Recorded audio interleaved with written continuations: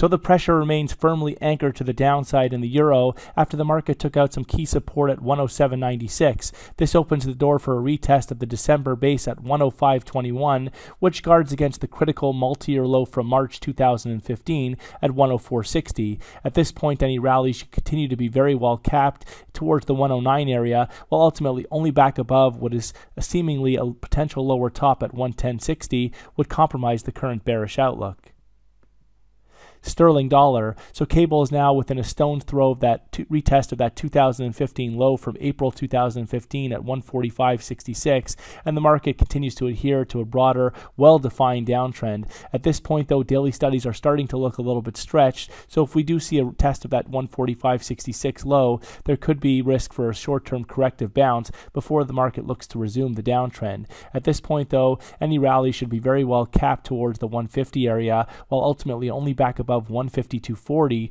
would compromise the current bearish outlook dollar yen. So dollar yen continues to extend declines with the market now closing in on test of next key support in the 118.06 area, below which guards which guards against more significant support from August at 116.12. At this point, any rally should be very well capped back towards 120, while ultimately with this market only back above 123.76 would really compromise the newly adopted bearish outlook for dollar yen. Euro Swiss. So Euro Swiss continues to consolidate over the past several days, weeks, and months, though it's important to note the broader recovery structure here out from those record lows from January of 2015, and the market is favored to eventually break above the September peak at 110.50 and towards 115 further up. At this point, setbacks should be very well supported, with only a breakback below 107.15 to compromise the constructive outlook for Euro Swiss.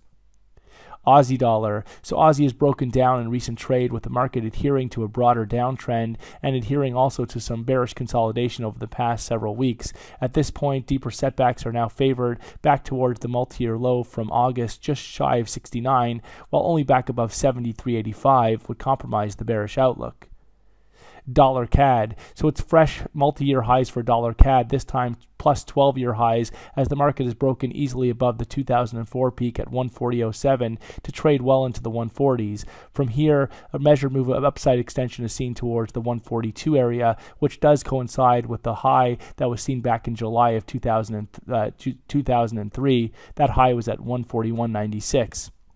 Look for any setbacks to be very well supported now ahead of 138, with only a breakback below 138 to compromise the immediate topside pressure. Overall, even if we do see a break below 138 into a correction, the market trades within a highly constructive structure and should be very well supported into previous uh, resistance now turned support by that September peak at 134.57. Kiwi dollar. So Kiwi is broken down in recent trade after stalling out yet again into the 69 area and head of 70, with the market clearly still being confined to a well-defined downtrend and favoring deeper setbacks, potentially back towards that August multi-year low in the 62 area. At this point, only a breakback above 69 would compromise the bearish outlook for Kiwi dollar. SPX 500. So the S&P 500 continues to show signs of the formation of a major top following this latest breakdown below 2000. At this point, look for deeper setbacks in the sessions ahead to take this market down towards next key medium-term support in the 1870 area. At this point, any rally should continue to be very well capped towards the 2070 area, while ultimately only back above 2117 would compromise the bearish outlook and open the door for a retest of the 2137 record high from May 2000. 2015.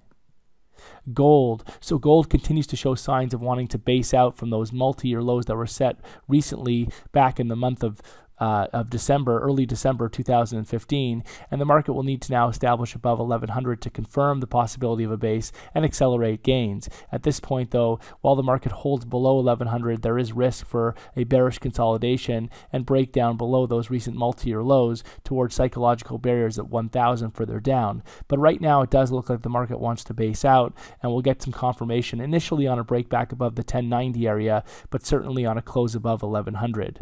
That's all for now.